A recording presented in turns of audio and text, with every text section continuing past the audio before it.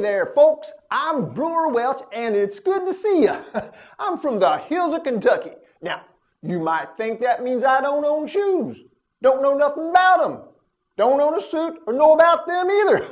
but listen, there's a few stores around this town, one of which is run by one of my more successful friends.